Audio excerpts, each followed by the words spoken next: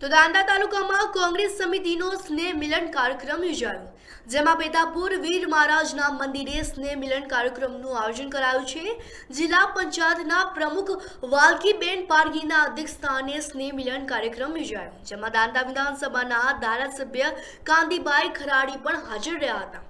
નૂતન વર્ષની શરૂઆતની સાથે જ સ્નેહ મિલન કાર્યક્રમનું આયોજન કરાયું હતું. કોંગ્રેસના વિવિધ કાર્યકર્તાઓ પણ સ્નેહ મિલનમાં હાજર રહ્યા હતા. જેમાં આવનાર વિધાનસભાની ચૂંટણીને લઈને વિવિધ મુદ્દા પર ચર્ચા વિચારણા પણ કરાઈ હતી. દાંતા તાલુકા કોંગ્રેસ દ્વારા સ્નેહ મિલન કાર્યક્રમનું આયોજન કરાયું હતું.